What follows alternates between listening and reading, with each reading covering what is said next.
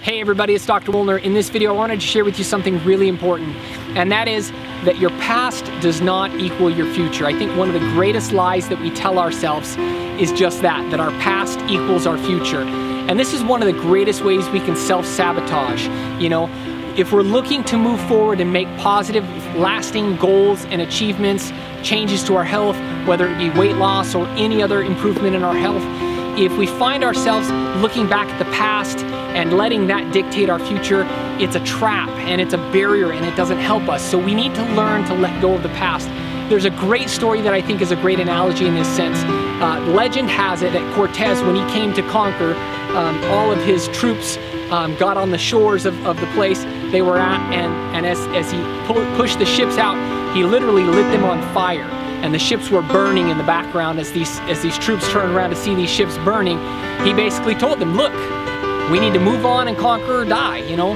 And obviously that's kind of a, a, a pretty sobering uh, stark uh, example here but I think that's what we need to do that's the approach we need to take with regards to our past we need to burn the past and recognize that your past does not equal your future even if you've messed up hundreds of times in whatever goal that you've set whether it's losing weight or improving your health in some different area or other changes that you're wanting to make in your life, whether it's a bad habit or an addiction that you're struggling with.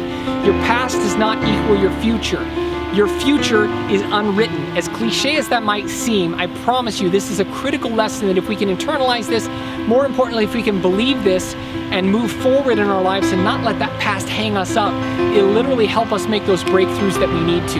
Let us help you in this process. Let us be an integral part of that for you.